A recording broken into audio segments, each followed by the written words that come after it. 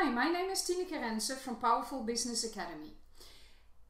And I have another objection, number four, why business women do not outsource. What they say is, it takes me too much time to explain. In that time, I can better do it myself. Well, guess what? I'm not going to object to your objection. It's true. But it's also not true. Yes, it's true. If it's a task they do for the first time, then it does take you time to explain. And you need to give feedback uh, and you need to probably check it and recheck it again. That's true. But what if they would have to do the task again? And do the same task again? And do the same task again?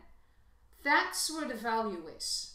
That is when it is going to save you time. But the thing is, most women don't go that far. They try to hire someone to outsource. They want to have quick results. They get impatient. They are a bit weary about, well, I really don't want to do it, but other women do, and I want to grow, so this is the way to grow. But you need to invest time in people. Yes, you do. But eventually, for me, I put on one line in my task scheduling for my team. One line cost me a minute, not even a minute, and they know what to do.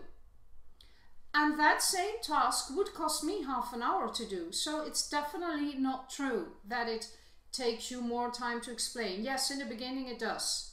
But eventually, on the long run, it saves you so much time. So I'm going to give you a lot of more value in the three day challenge where I tell you how you can start outsourcing. So join me.